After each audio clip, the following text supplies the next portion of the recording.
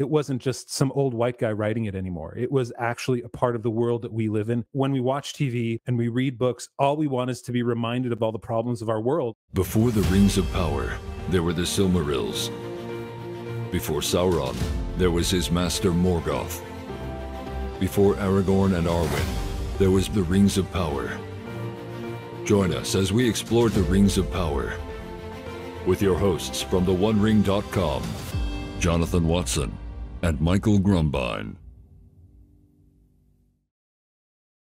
Hey, everybody, welcome to this week's episode of Exploring the Rings of Power, our favorite show that uh, that has graced us. I don't know since since the films at least, Right. and uh, Well, and definitely best show of the last five years. oh, so far we, none.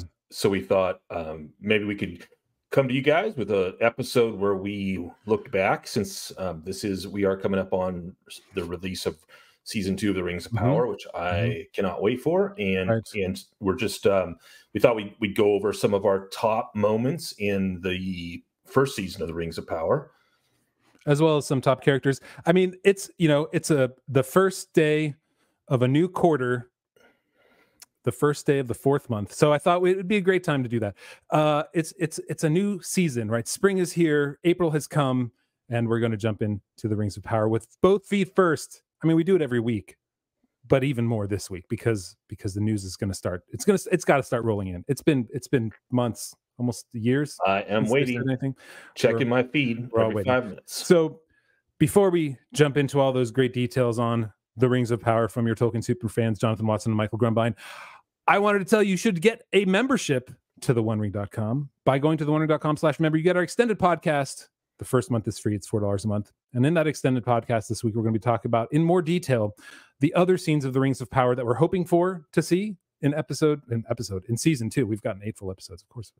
Episode two season two, which is coming this fall. They haven't released a, uh, a date yet, but we're going to go into more details about what our favorite upcoming episodes are. And see, uh, uh, upcoming scenes are going to be probably Tom Bombadil.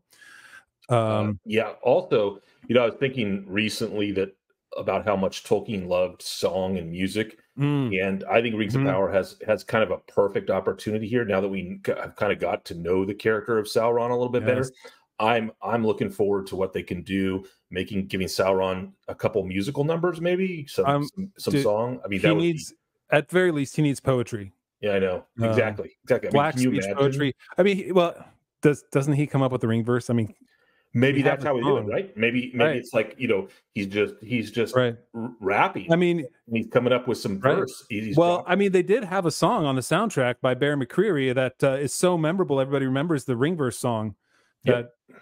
they came out with in the soundtrack. All right, all right. So become a member, of theonering.com slash member.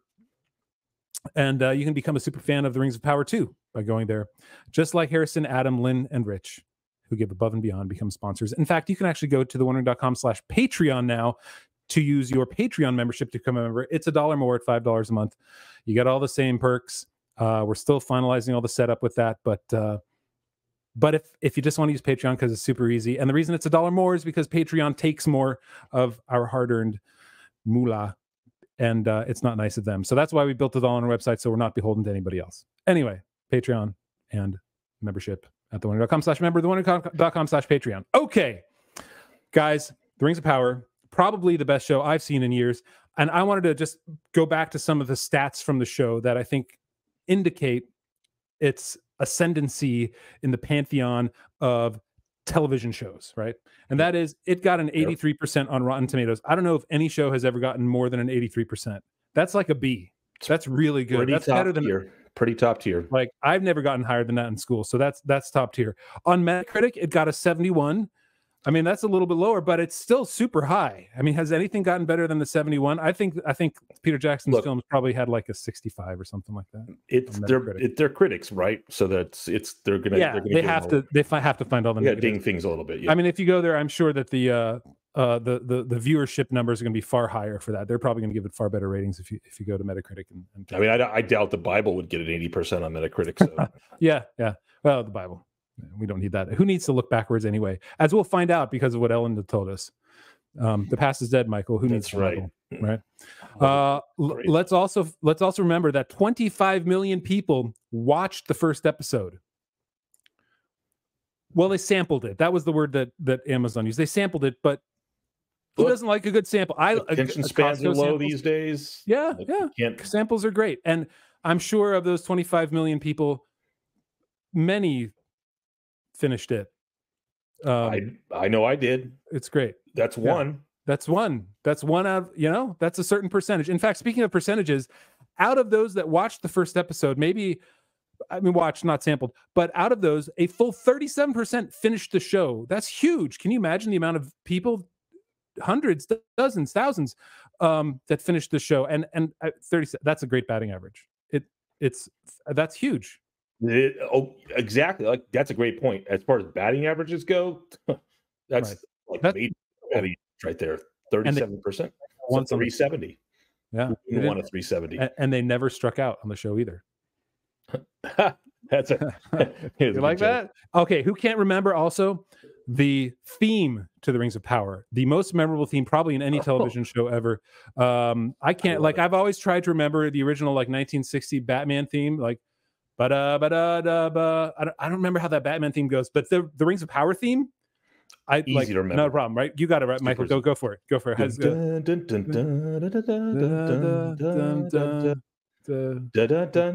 it's so memorable. I mean, we love so it. Good. It's so it's so like, good. I it's, it's I, I, have to go uh, back and listen. Super to it catchy. Like, yeah, yeah. I oh. know. I just like listening right to you hum it. It's, it's like uh, it's like the rays of sun shining on me from the heavens beyond. It was. It's yeah. I love that theme. Or, I love that theme. Or the light of the Silmarils. Oh, the light of the Silmarils. That's a little teaser. Little teaser. Our favorite scenes in the Rings of Power. We're about to, to jump into and uh, I don't know. You tell me when it's time, but Well, I, I, just I've got a couple more things to mention, Okay, or at least alright, one alright. more, and that's the acting. Right, the acting is tremendous. They were nominated for six Emmys for the show. It wasn't it wasn't for the acting. None of it was it was actually just technical Emmys. But but if it wasn't for the acting, those costumes would not have looked anywhere near as good as they looked yeah, I on mean, the look, show. Costumes by themselves on the ground, Yeah. useless. Right, So, right. so And- it's and- the actors that really Yeah. brought it home. And with those costumes, they they the they used the best printing presses possible to make these costumes. It was incredible. Like they looked so almost realistic. My home printer could barely do as good as those some of those Numenorean Yeah. costume, the armor, the Numenorean And you spent armor. a few hundred on that printer. It was when you Oh. told me about it, it was like you were spending how much on a printer, Michael? Really? The the printing is uh the, the costumes amazing, right? Emmys, they got they got them all. I I think they I don't know if they won, but they were nominated for them. right, they got all the nominations. Yeah, So and that's what that's what really counts. So let's jump into a couple of things, and that's going to be well, three things, like you said earlier: the favorite scene, the favorite character, and let's go over the most memorable lines from the show. So we're going to start with personally my favorite scene, and that's uh, when we learn of the conflict. Well, we learn why there is such deep conflict between the elves and the men, and what drives the distrust I and mean, why that's there. this is a pillar, right, of of all great all great shows. You got to Yeah. have that tension. Got to explain the tension. Where does it come? Right? from? Why? Why would the Numenoreans actually help the elves? Like, the, they're, the, you have to set this up, and Yep. so they do it in perhaps the most expert way. Again, by not looking backwards, but by looking forwards, by looking to our time. What what influences us here in our world the most? Um, and I'm going to go through this kind of line by line. And so here's the first part of that scene. mate attacks for guildsmen, and Míriel has her up for tea. Probably she called the elf in to punish her. Or to ask her for orders. Yeah. So we learn right away that there's this tension between the elves and that, right? They know that the elf and her mate, that's what he says. It's a little hard to understand right there, but he says her mate came in and attacked, right? So there's immediately this tension. They set that up right away. Done incredibly well. That writing is tremendous. Uh, let's keep going. and while the elf whispers poison in our queen's ear, who's speaking for us? Right. And that that harkens back to like sort of our time, like who's speaking for us here in our world.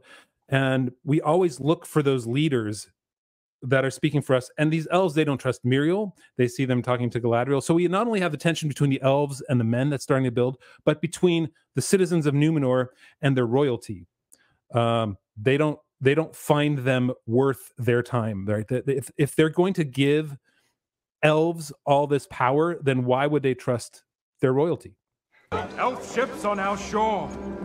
Elf, Elf ships. workers taking your trades. right? And what is more real than that? What is more real than the elf workers taking your trades? I mean, this is this is the political drive of of almost this election right now is like what's most important it's it's those immigrants those those immigrants coming in taking all of our jobs here and so when the elves come in when they see that one super powerful five foot four elf come in and obviously she's there to take her- their jobs because she's wearing the trade you know jerk okay but she's there to take their jobs and it, it, th- they see that one elf and that's all that they need that's all that they need because they know the evil of elves they've seen them for thousands of years maybe tens of thousands of years in numenor already i think i think that's what tolkien wrote uh, so yeah, so the elves taking their jobs. That's it's important. All right, taking their trades. It's not really their jobs, right? Their trades. So uh, I guess that would be butchering. That would be uh, metalworking. That would be livery stuff, right? That would be uh, scribes. All the elves are going to come in and do it.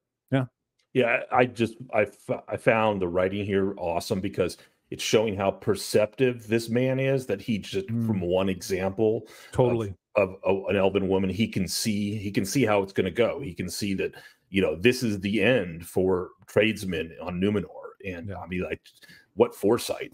Yeah. Yeah. All right. Let's keep going. Workers who don't sleep, Don't sleep. don't tire, Don't tire. don't age. Like, how can you compete with that? Right. So this. I say, the queen's either blind or an elf lover.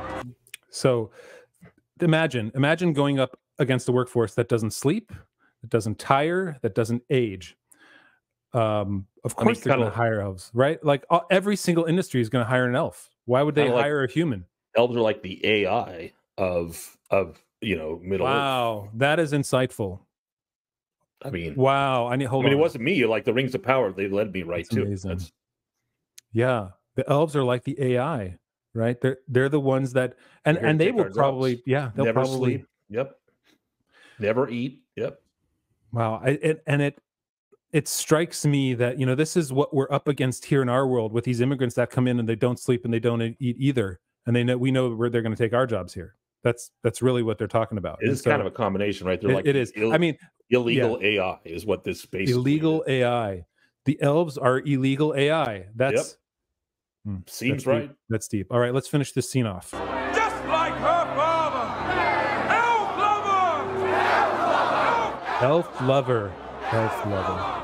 Right? There's nothing worse in the world than to be called elf lover. Um, I can't- and Like I can't uh, count the times since this episode that I've just found myself sort of waking up and Right. chanting elf. love." elf lover. Well, it's it's so sad. it reminds me of all those scenes we see the MAGA lovers here that they go to the Home Depot and they start chanting chanting immigrant lover. That's all you know, immigrant lover, immigrant lover. And when you see those scenes on Twitter and that's true. TikTok, it's it really hits me here. And to see that represented now in Middle Earth uh, is so powerful. It is it it strikes me to the core that uh, we need to be aware. And so now we have this tension. We have this utter tension between men and elves that are set up. That the elves are coming not just to defeat them, but to actually, you know, grind them under the heel of their economy. Right? They're going to take over. They're not just going to like destroy it. No, they're it's like they're insidious. They're coming in. They're just going to take their jobs and push them all out. There'll be nobody left to vote for their uh, for their queen. This is just prophetic. This that scene was so prophetic of the, our modern world. It's just Yeah. I mean, Yeah. Once once that scene hit, I was I was I was all in on the show. Um, geniuses. because I knew that uh, it was speaking to me, uh, and it wasn't just it wasn't just some old white guy writing it anymore. It was actually a part of the world that we live in. And when we when we watch TV and we read books, all we want is to be reminded of all the problems of our world and how we need to deal with them. Um, and so when we saw when I saw that in Rings of Power, I thought, wow, what great writers, what great showrunners, what great actors, what a great way to make us buy into the show by relating it to the problems of our world. It was it was tremendous. It was tremendous. Some of That's that, what I'm- Michael. That's what I'm looking for Yeah. from when I when I want a 100%, Tolkien show. I Right. that's Right. like I want to all this the stuff that I'm getting in my Right. news. I want it to match. I want like go to my go to Tolkien or you know Rings of Power, which is let's admit it might be It's- slightly slightly better than Tolkien. Yeah. Okay. maybe Right. improve I'm- upon. I'm- okay. Tol- Yeah. uh, look, I'm not disagreeing. I'm not. Tolkien's great. Tolkien's great. Tolkien's great. Everyone can be improved on. Right. so. Right. Right. No, I mean, Right. he said that people should, you know, start playing with. I think he mentioned that somewhere where other writers hand- should change what he wrote. I think I think we're his almost other verbatim. other hands, Other and, uh, hands. and and minds, or other hands in I don't know. I think politics. he said I don't know. think- I don't know. he Whatever it was. Yeah, ch- change it. Do something better with my stuff because you know, Yeah. uh, as we grow as a society, we only get better. Things never get worse. It's a, it is a push toward the future that is, you know, that's what Star Trek is, right? We we will get there eventually, and everything, you know, la- this year is better than last year because as humanity, we only get better. We grow in our in our love of the human. And um, Well, all, look, if, if all we if he- focus on is the econ- economics and pol- politics of things, then we will always get better. If Tolkien didn't say that, he should have. He should have. that's- that's what I- Absolutely, that's what I hundred think. percent. Well, All right, that was my, m- mine may my not be as good as yours, Okay, but all right. but as everyone knows, you know, one of the things that's often said about Tolkien is that he wasn't just writing, uh, you know, a fantasy story. He was making a mythology, and so there's so many mythological elements to Tolkien. And I have to say that of all of the um, the, the the the entirety of the first season, I think it was episode five, had my Mm. favorite moment, which was this piece of mythology. And what I love here is that the Rings of Power writers, they they're showing their real genius because they don't just take the world that Tolkien created and put a great story in there with great actors and themes and bringing it back, like you said, to our world today. And Mhm, mhm. you know one-to-one connections that's like that's great but they also took a hand on the myth- mythological elements and frankly you know we know a lot if you read the silmarillion as we have and gone through it you know that the silmarils are a major part of tolkien's histories and mythology and but clearly the ring Riders of rings of power saw that there was probably some things that could have been improved on so they took their Mhm. hand they, they took Mhm. a hand at mythology and so in season, in episode five, we have um, what uh, the king King Gil-galad calls the song of the roots of Hithaeglir, and or uh, might have mispronounced it, Hithaeglir. It Uh, doesn't. anyway, the language doesn't really matter. whatever. Doesn't Like really his, Yeah. it's just confusing. Elvish is a No. confusing language. Yeah. Um, so so he says some gobbledygook. But uh, anyway, so so there's he he he has Elrond re you know recount this mythology, and it's it's awesome because very subtly the writers of the Rings of Power change elements of what Tolkien Mm. had probably fairly crudely written down, and so we we actually find out that in this you know in Rings of Power that there's you know a Silmaril that maybe was unaccounted for, or perhaps there was one of the Silmarils that you know were accounted for, but somehow it ended up in this different part of the world, a thousand miles away. Um, and it doesn't matter. Again, they're allowed to rewrite whatever but they look, want. That's that's the It power of imagination, right? So Mhm. so they retell this tale, and this is going to explain to us from the Silmaril, from the idea of the Silmaril, fourth Silmaril out of the three or something. And they they're going to explain how uh, Mithril comes about, this uh, Mhm. wondrous metal that Tolkien has a part of as part of his legendarium. Well, and here, s- l- so- let me know when you're ready. I Want me to show Yeah, the yeah. Let's, so, Yeah, so we're gonna right, gonna start hearing about this mythological tale, and I'm we will stop it at different points, and I'll talk about just the brilliance of the elements they put in. Here we go. On one side fought an elven warrior. The heart is pure as Manwë. What do you think about that? That what Okay. a great line. With the hardest as pure as Manwë. Okay, so this is awesome. So, and right before this scene, we do, you know we, we can only take certain cuts because we don't want to get dinged for copyright. but- Yeah, copyright. but but they you know they make clear uh elrond makes clear that this is a battle that had occurred in the misty mountains now we all, all may be thinking to ourselves well Mm. the silmaril the history of the silmarils that took place in beleriand which is you know under the ocean thousands of miles away Mhm. um, that's where the there was any fighting between elf warriors and balrogs um, but and the Silmarils spent their time. But no, no, we have to just like open your mind and understand that this is a better story. And in this, in this, the, the elf warriors here fighting on the Misty Mountains over a Silmaril that's in a tree. Because I mean, look, if you're gonna hide a Silmaril, seems like a good place Right. Well, and remember, there was the light of the trees. So obviously, you where do you want to put the light of the Silmaril? in a tree. In a tree. All right. Seems keep going. makes sense. Hmm? Poured all his light into the tree to protect it. On Right. the other, a Balrog Okay. Okay.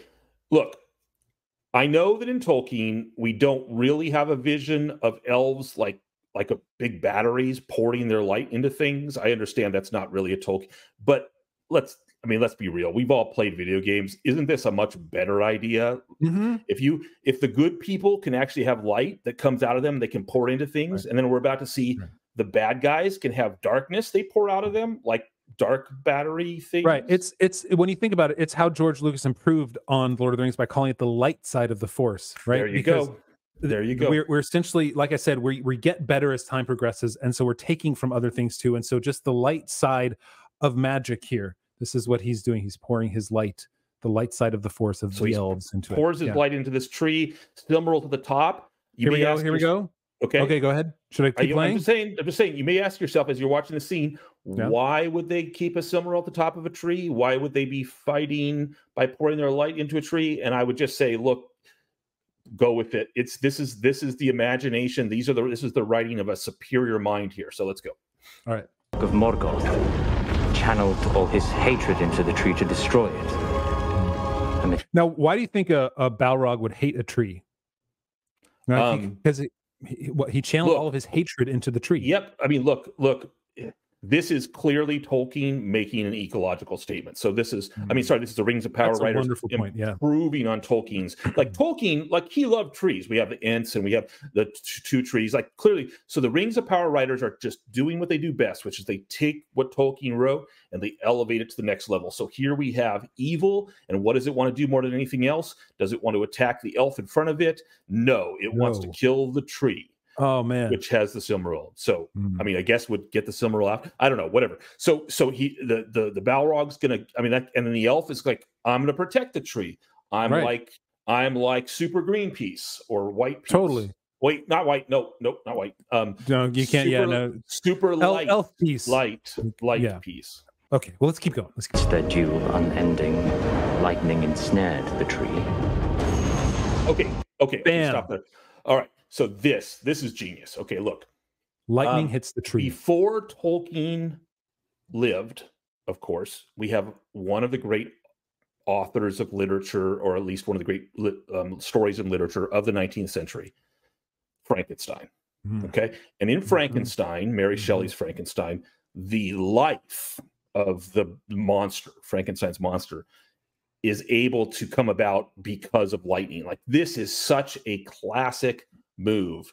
This is like, and so the Rings of Power writers look, they they they see Tolkien's work and they they love it, but they realize it could be a bit better. And so Mhm. let's just take a little lightning, you know, Frankenstein style. Let's throw it in the mix. So you got light from the elf and darkness from the Balrog and lightning. And as everyone knows, if that's the kind of combination, the magical formula, you're going to get something really awesome like Mithril. And that's what I mean, that's what happens. Forging of their conflict. that. Mithril, it's it, it's like lightning strikes into the stone. It's so I mean, and the beauty of this scene too, right? It's it looks like the greatest video game you've ever seen. I mean, It probably just- better. Probably, probably better. Probably better. Um, f- like probably better than one from like 2020. But it was amazing. It looked so good. And uh, yeah, that mithril going down. Let's keep f- following the scene here. If there's, if you want me to stop, let me know. A power as pure and light, as good, as strong and unyielding as evil. Look, everyone knows that of all the things in the world that are like unyielding, it's evil that's the most unyielding. Mm-hmm. Yeah. Like, uh, and and everyone knows that purity and light is good, like good. So I mean, look, this is perfect. It's like it's it's all the immaterial qualities that Tolkien would have, of course, agreed with, and then they're put into a material thing. And he Elrond's about, no, no, sorry, sorry, no, Gil-galad is about to say, like, the trapped light of the Silmarils. So, so this is what happens to the light of the Silmarils. Like the idea, and frankly, let's remember, Tolkien had one of the Silmarils end up on the brow of Eärendil, end up in the stars. It's this mm-hmm. perpetual light shining down. Kind of boring. Kind of boring. Mm-hmm. Look, wh- how Yeah. much better if the light of the Silmarils instead were trapped in a metal in the bottom of a mountain, and that's, I mean, Right. genius. Right. Yeah. And and it's I am the Silmaril is destroyed. I mean, I think so, right? Like w- Well, it has to be. it's fa- it- it's far better if this is the third Silmaril. It's far better than like what being thrown into an ocean. Like what? Who does that? Yeah, Like I mean, This give it a reason. Like if you don't have a purpose for anything, like there was no reason for him to throw it in the ocean. Look- it was just sort of a random thing that uh, one of those elf guy, Sons of S- Fea something did. I Yeah, and far look, better. Look, everyone knows like underground, you know, inside of a mountain, way more interesting than at the bottom of the ocean. Like Mm, mhm. it's not like there's ever been books written about the the, the ocean is boring. Look, Yeah, it's not. there's There's, nothing nothing, there. interest, We've interesting we've found out everything we know about the ocean. There's no more. No, There's no more okay. So bottom of the so so I love this. This is and and this is genius. And and you know, here we are. So so they they show they're showing their mythological chops. They can take Mhm. what Tolkien gave them, probably you know B plus grade stuff, and Yeah. and they can and they can raise it up and, and bring it to a new You're level. you're So- pretty generous with that B plus, but I'll, well. I I, look. I like Tolkien, so you know B Okay. plus sometimes. Right. You know, You know what I this- love? yeah. A, what I A love level. what I love about the scene is that it, it encapsulates what Tolkien said in um, that fairy fairy essay he did, where he talks about how On your fairy imagination, yeah, yeah, yeah. He talks about how your imagination on fairy dust is so much better than anything else that's that's done. That and here they're using their imagination, so they're they're taking that idea that imagination is more powerful than anything else and using it to give us something that's more powerful, a more, more powerful TV show than has ever been put on screen. Right. You know, we're not worthy. That's, All right. That's that's what I got. it was say. Wonderful. All right, let's get into then. These are two, two favorite scenes. Let's get into our two favorite characters. Uh, why don't you kick off, Michael? Because mine is is perhaps a, a, a li- it's a little more central to the show. But Okay. yours is all right, all right, all right. Yeah. Yeah. So so um I'm I'm when I was thinking about, you know, who is my favorite character from Rings of Power, um, there are a lot of choices uh because there's so many good characters. I mean, it's hard to think of a bad one, actually, a poor choice. Um, I almost chose that guy from the marketplace that you were talking about. Hmm. Then I, then I realized I couldn't remember his name, so probably not the best choice. Um, so I, I, but I was going through the characters and I realized um, I have to give it up for um, the leader of probably the best adaptation of. I know we're not supposed to say it. The best adaptation of hobbits, hobbits Hobbits. that that that you know Rings of Power did. We're technically supposed to call them Harfoots, so yeah, I get it. I get it. There we go. There we go. So so um the leader of now the reimagined hobbits in this you know Harfoot in this um in the in Rings of Power are they they're kind of cool because Tolkien um, envisioned this small people that doesn't don't like to be seen, and they they love the simple things of life, and they stay away from the big folk, and they Mhm. you know in the Shire and everything. But honestly, I always thought reading Tolkien, it's kind of you know it's a little stupid.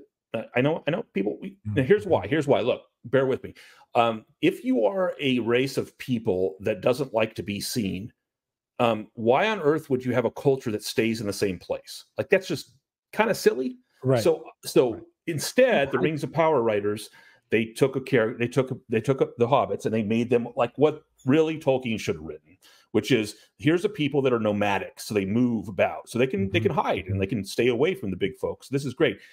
Um, so the head of the tribe of Harfoots is name is Sadoc, and um, this is him right here in like full regalia. It's awesome. I love this sort of religious regalia that he has. It's uh, it's inspiring.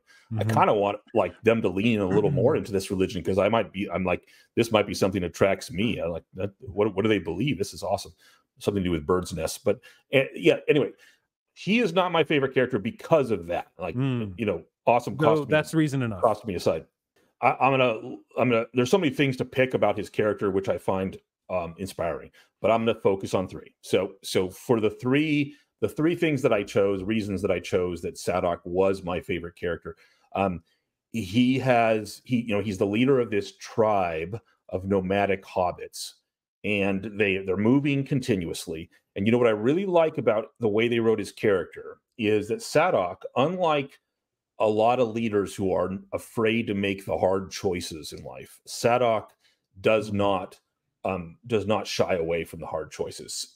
Um, he does what it takes to lead his people. And let, let me give you a couple examples. So, in the movie, in the in the show, um, you know, one of the rules about this Hobbit culture is you're you're you're always on the move, and um, you know they stick together and they're out for each other unless unless and this is you know a reality of their world unless you're a little slower than the rest of them and you get Mhm, mhm. then you get left behind and you die um and you know that's harsh but as a leader of this tribe he has to uphold these rules and make sure that you know their their society ha- congeals. It has that structure which is so necessary where they just and and so he is willing to leave behind um you know his, the people of his tribe who are just a little slower or maybe their cart gets uh, breaks a wheel or something and and they're left behind. Like that's that's harsh. That's justice. That's like fair harsh but fair. I, that's what i call it. Um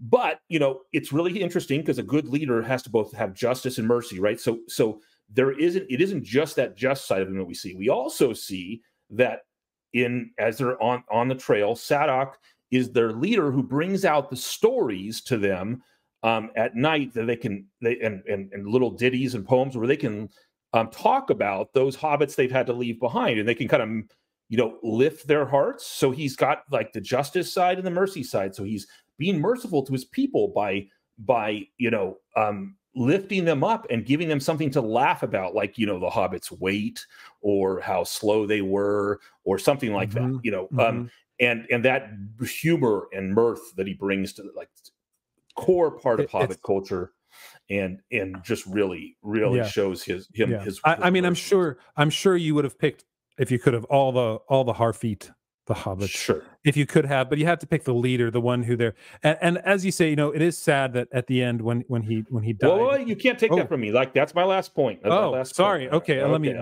okay. okay, go for it. All right, it. sorry.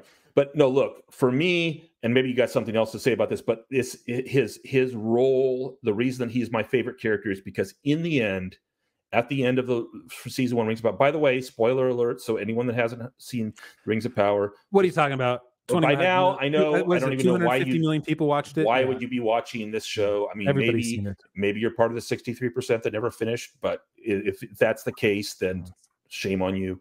And and you know, spoiler. Yeah. So at the end, Sadoc sadly is killed, and he's killed by some um, you know, folk of dubious gender, which is another another um nod to Rings of Power for its diversity, equity, and inclusion, because Mhm. that is what we want in our in our fantasy shows about Tolkien.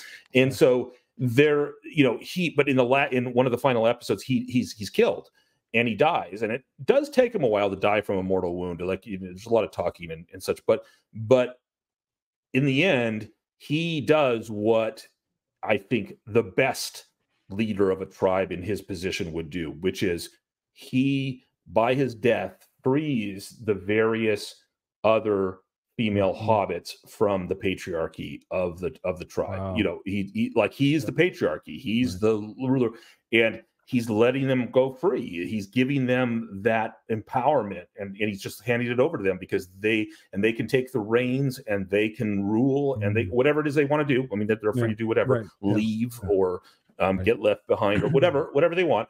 Um, and and but by by like the ultimate barrier and the ultimate sacrifice are one and the same. He kills himself or lets himself die so Yeah. that he could, you know, free them from that from that uh, that overarching patriarchal structure. Genius, Yeah, yeah. wonderful work. Right. So yeah, that that was gi- and, and that gives his story arc such impact, right? You realize in the beginning that he's the leader, and maybe you're not questioning as much as you should, but by the end you realize, oh, yeah, the patriarch need we need to we that needs to be gotten rid of. We need to throw that out with the bathwater. So that alone, and then I also like it in his final scene how he when he when he passes right, he- I think he takes a knife, something to the gut. Yeah, a knife to the gut, and so um but he sits down and ins- instead of like saying you know i want to spend time with my family i want to watch the sunrise and that again that's like the earth is what's important the the world around us. Like let's remember that more than let's remember the people around us because people were just you know we're, we're parasites on the earth even the even even all of us so let's remember let's put ourselves in that position of like we are small and tiny and inconsequential in this world that where the world and the, the climate and the the impact that we have on it is so much more important i just i just It's so it- it's so true. He's just like I mean, he's showing what's important, and and you know that gives a I, I didn't even think that's wonderful that you said that because gives me a new perspective on the whole l- leaving things behind. You know, leaving the Mhm. folks behind. Because look, what's more important like when you if you have a society like they do that he leads and you're leaving people behind you're doing a, the world a favor right because since we're all parasites Wonderful. then yes. then you're 100%. wholly you're just you're just in this continuous process of you know abandoning your own people to return to the earth and freeing the earth from their influence i mean look this is Yeah. this is just Yeah. a beautiful society That's i a- I feel like I should be a Harfoot. That's the, that's that, that Don't that's we all? Don't we mhm. all? Yeah. So that, anyway, that female, favorite- female favorite. Harfoot, not the male. That you'd rather be a female Harfoot, but I, yes, you'd I, be a farmer. I, I probably would. Yeah. I mean, especially at the end. Yeah, absolutely, hundred percent. All right, that was a great choice. I don't know if I can top this, but I have to. Uh, This is the character that most defines the series, both for the choices made, for how the the writers took a bland, boring, lifeless character that we'd seen before, and changed it into a courageous relational young warrior that um that clearly we all love. And that of course everybody that of course is is galadriel. And i i think that her impact on the show can't be measured by just um people who watch it right i mean it's measured by how much they changed her from from who we know because as we said before we move forward we get better and so I, I, the four four things about her that that's And by the way, can I just say before the Mhm. the thank you for choosing a woman because I, Oh, uh, one, yeah. one thing I felt bad about was I choose a man. I mean, he was a man that removed himself as the patriarch, so that was good. But I mean, how, Galadriel. how can you yes I'm in, like my just my heart is a flutter every time I like she came on screen. It was it was amazing. It's um she bows to no one. Let's put it that way. There she you go. to no one. There you go. Especially- in this here. And there are four things that set her apart from the rest of the characters and that's one that she's now young right? She's not this old boring bland shining elf that we saw in peter jackson's film who really just doesn't do anything. I mean does she have any impact on the hobbits at all? I don't think so. Like I she mean, barely talks with them Yeah, I mean, every she makes it more Right. boring. That's Yeah. that's the impact. for, for sure for sure so and, and so now we see that she's young right she's just like just like tolkien wanted her to be brash i think so at least like she was supposed to be an amazon i think or i think that's what I mean, like wrote. Amazons wish they were like her. This is this right is 100% who, would, who wouldn't want to be like a 5-4 elf of warrior kind so she's young she's brash she's abrasive um and and we can tell right she has to grow still she has so much to learn uh i think she's like at least 100 years old right now. Maybe more? Is it more? Maybe more. But anyway she's much younger than she is in in what we saw in peter jackson's movies um which you know no, i don't know how many people really like those anymore. So so that was a great thing for us to kind of attach to is like she's like the rest of us. She's still growing. She's young and she needs to you know she needs to be less of a, a hothead in a way. What a wonderful way of us to make her more approachable for, and for can I say, can I say, you know, one of the things that I have to admit, I did not, not enjoy from uh, from so much from the Rings of Power writers, and they did so much right, but there was an overtone as we moved through the episodes that we should be a little bit, you know, a little bit down or a little bit critical of her loss of temper and how she was abrasive and i just thought it's probably uncalled for because look she this is galadriel. She's been around since the first age. Like oh if it is it right. really arrogance if you actually are better than everyone else? That's what i Hmm. say. So so i i just think i just think we should have given her the recognition and and enough of this judgment about her her first negative quality. So First anyway carry on. And but one thing she has learned right is how she, she's she's a warrior now. She is she is able to defeat anything that comes her way. Like there we go this cave troll right? There is nothing that she can't do better than the men around her. Um and let's be honest she was at least at least as good as legolas was in the films for peter jackson right? Legolas what he he ran down Nolfon, or ran up an Oliphaunt's back and like killed it and stuff and then slid down his trunk and he ran up like falling stones in the hobbit but if you feel if like if you feel that galadriel can't do that stuff we know that there's only one reason why you would think that that, that a woman can't do what a man like Legolas would do. Uh, and that is that is your sexism and misogyny. So if you don't like Galadriel, like we know, inst- I, I instantly know the reason why. There's nothing you have to say because if if you if you like Legolas and you dislike Galadriel here in the Rings of Power, uh, that that I don't. I, I mean, I can you think of a reason why? Uh, that that's got to be the only reason. That's Look, it. I just all I have to say is Tolkien's not for you. Obviously, if Totally. if, the, if if- I'm like Rings of Power is not for you, which is you know taking Tolkien to the to eleven. Um, you know, it's it's this is just not for you. So No. if you're that kind of misogynist, please leave. We don't want your Mhm. business. I mean, Mhm. not that we make So- any money, but but you know, we just still want your business. Right. And, and and I have to say, shout out to another podcast that I heard a while back um, on this. That's a little known podcaster, Gary from Nerdrotic, and he has this great see, like he points out. Never heard of him. I don't know who he Uh, well, anyway, so you'll Okay. maybe I'll be able to send you a link if he hasn't shut his channel down.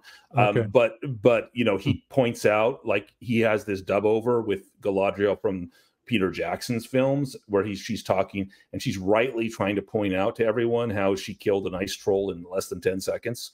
Uh, Yeah. Once she started fighting, of course, because you know uh, she had to cull the weak from Yeah. her own band. But I mean, but- look, here's the thing. They, they made her, and clearly, rightfully so, the commander of uh, the north, the northern armies, and so she's commanding all six people, and she's doing a wonderful job because what does she do? Like, their entire northern army that's with her of, of all six people can't defeat this troll, but all she needs is those ten seconds, and she's a she's a Yes. warrior that that cannot be trifled with, and so. In lieu of that, right? I don't even know if the Numenoreans knew that, but she trains the entire Numenorean army too. She actually goes in and I mean the, the army I think is like double the size of of the the Elven army at least. So we're we're looking at dozen uh, uh, t- does many so many people in the army At and she trains them yeah, and double digits. right and she teaches them uh you, you you don't use strength you only use your feet I, th- I think something like that which is clearly more important. When you fight strength doesn't matter at all. I mean uh she's got courage that's more than strength and that's the, one of her other most important parts i'll get to in a second. And so this courage is is what drives her forward and that's what makes her able to beat a cave troll that's probably you know four times her size maybe maybe five ish. In um, less than 10 seconds. in less than it. 10 seconds. In less than 10 seconds. So obviously great warrior. Number three is that courage that she exemplifies. She comes off as somebody who will not be trifled with. Very and we learned that number yeah. one we talked about it the cave troll. Number two when she's sent to numenor what does she do? Does she just like not to see does she just sit there and go on the boat? No no when she approaches Numenor, right, her courage takes over and she jumps off the ship in the middle of the ocean, thousands of miles from shore. I mean, if that doesn't take courage, nothing, nothing does. Look, Michael Phelps got nothing. Like she could swim an ocean. Okay, Mhm. this Hundred percent.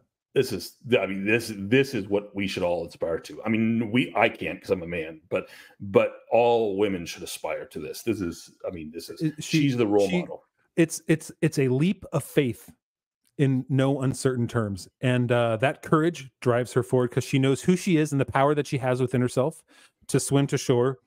Um, but then uh, then we come to okay, and and you know she does other courageous things. I'm not going to get into. I think that step alone, and she's able to defeat um, when she she gets out of jail on her own in the Numenor.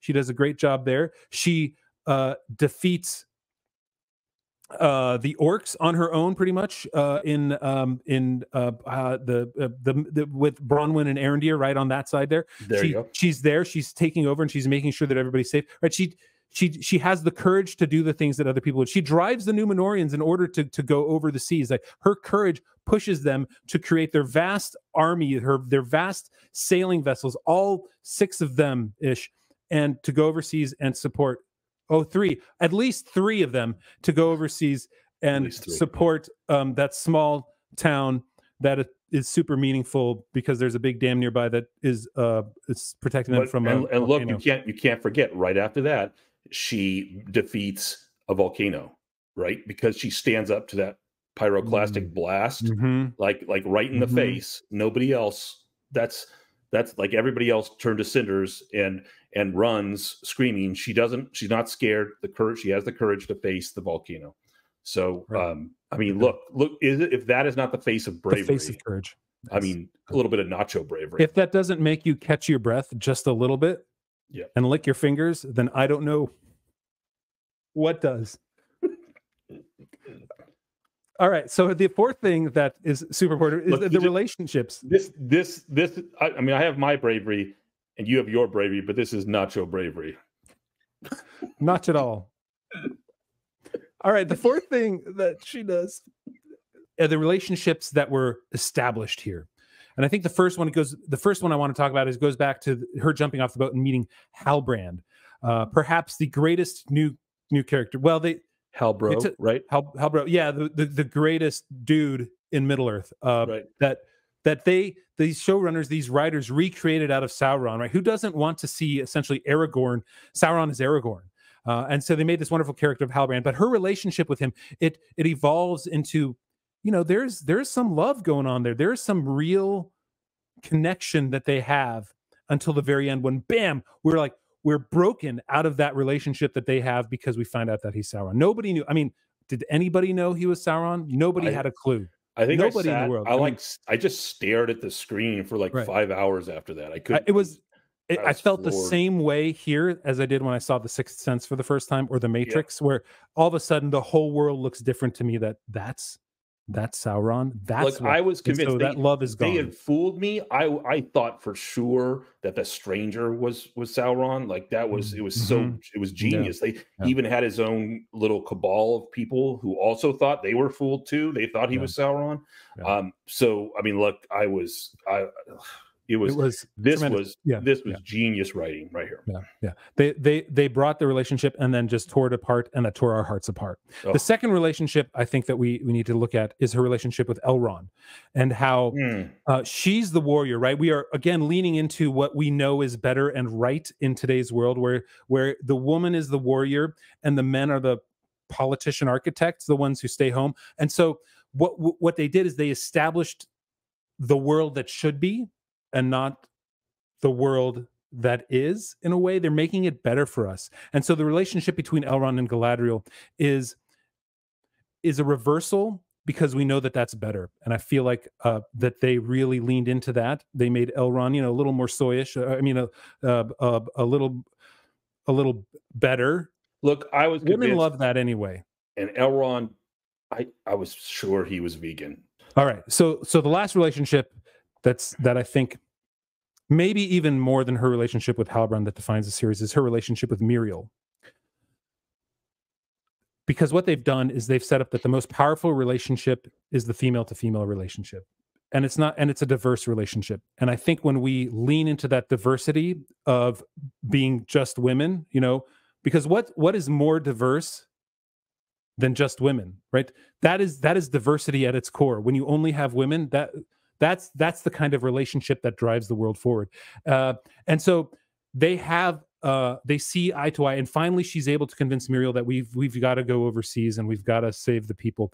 Um, and so it's their relationship that's really driving this female to female diverse relationship is driving the plot forward. Without their input without them making these decisions for galadriel for destroying uh the orcs I mean, she was there too late, and they they got the they opened the. Okay, anyway, uh, but you know, and then she saves Halbrand, and then she's essentially the one who's taking Halbrand. Right, all these decisions they drive the plot forward, but who's doing it? It's the two women, uh, the diverse, as it should be. As the should be. diverse, ho- homogeneous women are doing it, um, and I think that's so. These relationships are what really endear her to us. Uh, so anyway, that's that's. I mean, who's going to argue with Galadriel and Sadoc as the best characters in all of television in the last two decades, at least? uh, bigots. That's all I can Bigots, think of. misogynists, haters. Yep, Yeah, they're all that's there. it. All right, guys. If you think differently, please put your put put them in. Like, if there's a character that you like better, uh, put it below. Let us know. Like, let us know in the comments, man. We'll respond. We'll take it in. But if there's a co- character that's better than Galadriel, that's better than Sadoc, I doubt it. But you know what? I mean, aren't all the characters in Rings of Power better than everything else? So, how Yep. who's going to argue? But hey, look, argue? this is the internet. you're free to be as wrong as you like. Go ahead and post it, and we'll tell you why you're wrong. Yeah, 100%. We'll do that easy peasy. All right, guys, we'll go into the last part of this, which is we're going to talk about our the best and most impactful lines from the Rings of Power. So the first line we're going to talk about is from Elendil, and in fact, I believe this line was from the trailer that came out in the summer of 2022, three, two. I love Three. this line. Uh, it's been so long since the show came out; it feels like it was six years ago. This line is this: "The past is dead. We either move forward or we die with it." I think that's verbatim from from Tolkien and the Silmarillion. What Elendil said to somebody, Look, or it should have been. Look, or it should have been. Should and it, it says like nothing behind us matters everything behind us is crap right? Just like those swords that the hobbits got in the, the lord of the rings they were crap. They didn't anyway they everything everything everything in the past shouldn't shouldn't take precedence over anything else. And so that's what they're saying is like move forward. Don't worry about what's in the past. Just worry about the future and where you want to go. You know worry about the, the the world that we're going to create not about the world that we're in because it that's is the past. it's really nice to see progressive Mm. Numenoreans. Yeah. I mean that's Yeah. just like and Yeah. progressive But- like it's just it's just wonderful to see finally a vision of Tolkien where people just have their eyes fixed on the future and they don't care about what's gone before and they Mhm. don't care about Mhm. it like it's just all about what's here and now in front of Yeah. me and whatever was in the past dead yeah recreate the world that you want uh the second line is perhaps i mean there is nothing more profound than this i have read the bible uh, i've read the quran i've read all versions of the talmud and nothing is more more impactful in my life than this statement do you know why a ship floats and a stone cannot because the stone sees only downward the darkness of the water, oh, the darkness of the water is vast and irresistible. The ship feels the darkness as well, striving moment by moment to master her and pull her under. But the ship has a secret. For unlike the stone, her gaze is not downward, but up, fixed upon the light that guides her, whispering of grander things than darkness ever knew. I mean, it's it's it's the way I learned to swim. Look up, don't look down. And, also um, it's why i hate rocks they could only look down Uh, Yeah. They're just that's- Yeah. it's, It's like when- all the rocks all the things that go down i mean everything from the stones that are at the bottom of the ocean which nobody cares about because the ocean is boring to the rocks and stones at the bottom of a mountain except the mithril which you know, so but you know everything that is rock related only looks down.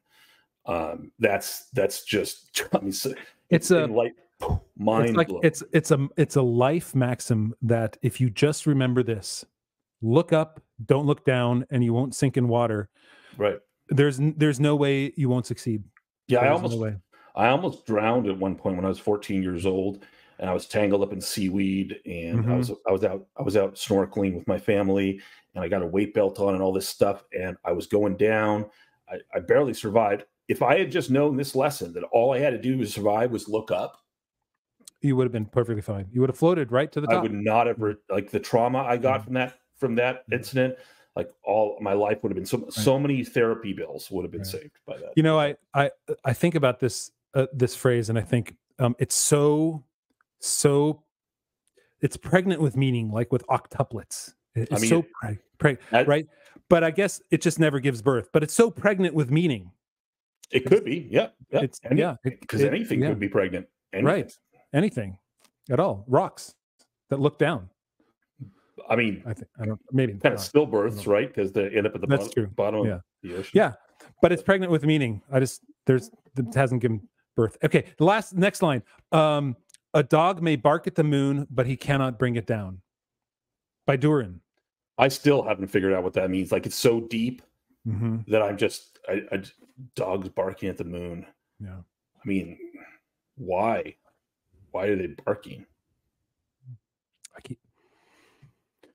Do, yeah. The depth, the depth. It's, it's I I feel like that um they are on such a level above us that why even try to understand it? I feel like I'm a little bit of that stone from the previous line. I'm like, Mm. yeah, maybe I can look up a little bit. No, no, I keep looking at. No, no, maybe I can look up. But isn't that what makes the show great? Is like we can keep musing on these phrases that are so deep, Mm. and we can come up maybe one day with a meaning for them. Maybe Maybe. I mean, maybe season two. season two, they're going to reveal in season two why why he can't bring it down. I I hope they bring the dog back. That's barking Yeah. at the moon in Yeah, season two. too. Yeah, maybe he'll bring it down. Uh, le- next line. Um, this comes from I think uh, it's Bronwyn. Okay.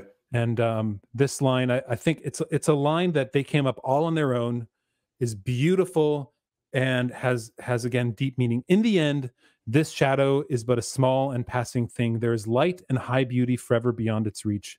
Find the light, and the shadow will not find you. I mean, can you imagine being the person who came up with that line and how profound that that, that is? It's chills. um, and and like that that line can never can never be copied by anyone it's so good nobody would ever like dare to copy a line that that has such meaning like that. I think that episode's going to live as like the top of what Tolkien could have been. could have written he could have could- done that Could have, but he I mean, missed he- out like he started, he started, gave us a little world and stuff, but but to have a line like that at the end, like just so so. so profound I, I I, I I- I- I wish i wish he would have done it it would have made the lord of the rings better if he would have put that line in it he, Yep. he should have done it i mean and i've read lord of the rings at least once so i think like i would have known if that's It's- like half a time more than I have. So Yeah. Awesome. Uh, Awesome. I- I, I, am so glad that they, they wrote that line. Again, the respect for the writers that they come up with this stuff on their own is, uh, is, is, is, is peak level, they should be peak proud of level themselves. education here. Yeah. Yep, All right. Next line. Um, where there is love, it is truly, uh, let me, let me get this right. Cause it's so good. Where there is love, it is never truly dark. Because like we learned, love and goodness are light earlier, right? They they established that with the mithril that there is a light Right. and goodness come together. So where there is love, which is good, it can't be dark. That's what they're saying. That's what Elrond did. But since the mithril is made of darkness too, then where there's mithril, there can't be love, which might explain Mm. Disa and her husband had such marital troubles. Besides Oh. his, besides his misogyny, of course. But yeah, I never thought Yeah. about that. That's Yeah. Like- it's the mithril. The darkness in the mithril can't be love. Okay, got it, got it. Like another Well, one of know- those connectors that. yeah. I mean, you know why they have marital troubles? It's because Durin's the the king. He's going to be the king, and Disa really should be in that role. And we know that that's the right thing to do, and he's That's not right. doing it. That's that's where all the trouble comes from. maybe he'll get there in Um, season two. Maybe Yeah. And for some reason, he still loves her and she still loves him. I don't get it, but it's profound. It's profound that that love and goodness are light and it casts out the stark shadows in Khazad-dûm because it would, you know, if everybody just loved in Khazad-dûm, they wouldn't need to put any flames on sconces anywhere. It would just be light all the time. All the time. if if they just open their hearts. But you know, dwarves, most of them just look like men, and that's that's I think that's their problem. Yeah. All right. Last line, and we're gonna stick with the we're gonna stick with the uh, dwarves here. Uh, and, and you know it's a little funny, but man, it's profound. It's give me the meat and give it to me raw. yeah. Right. It gives you the shivers, and the reason, the reason that I find it so like it, it stuck with me. This was at the very end of the the season, and it stuck with me. Is that when you when you burn meat right it, it becomes smaller so you're not getting everything that the meat has um, and you probably already cut it up so it's in smaller pieces so when it's raw it's not in a real it's probably not cut up cut up it's probably straight from the straight from the cow straight from the the bull straight from the rabbit the coney. Uh, and so this line of give me the meat and give it to me raw right what a profound way of saying like tell me everything you know. And uh, i started using that in my in my in my in my interactions in my interactions with my wife where i just say give me the meat and give it to me raw when i need information that's that's all she needs to hear and when i say that boom like we we're on the same page give me the meat give it to me raw that is that's it. That's that's really really deep. I never ever would have thought of that. Um,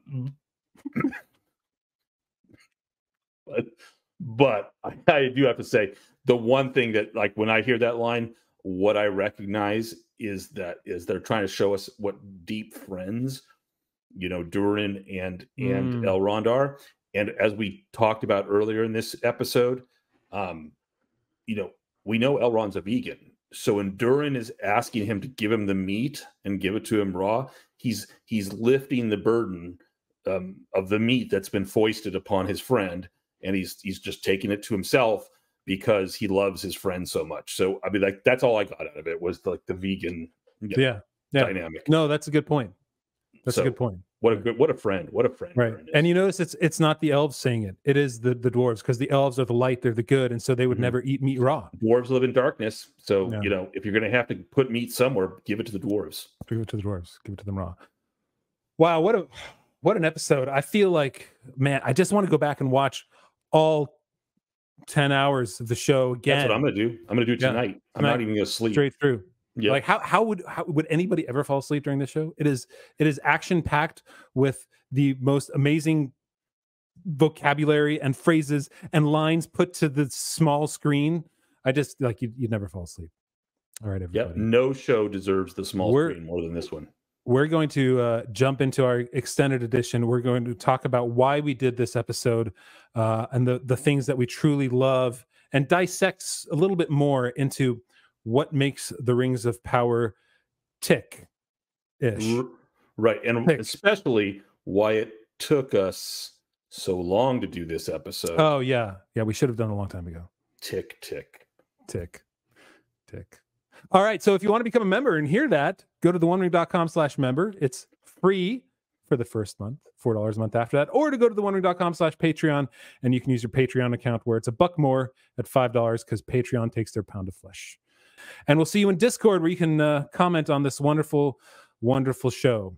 So we'll see you on the other side Which we can only afford to do once a year. So once a year. live probably on the the first day of the fourth month of the of the year probably somewhere around there They they've got the joke already, Jonathan. Yeah. We can happy april fool's day everybody we'll see you on the other side bye freeloaders we're gonna have to get that. That's so bad dude.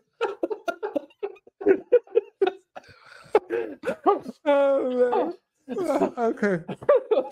Oh nacho bravier lick your fingers man. We're going off the deep end. Oh, okay. Oh, this is okay. Oh. all right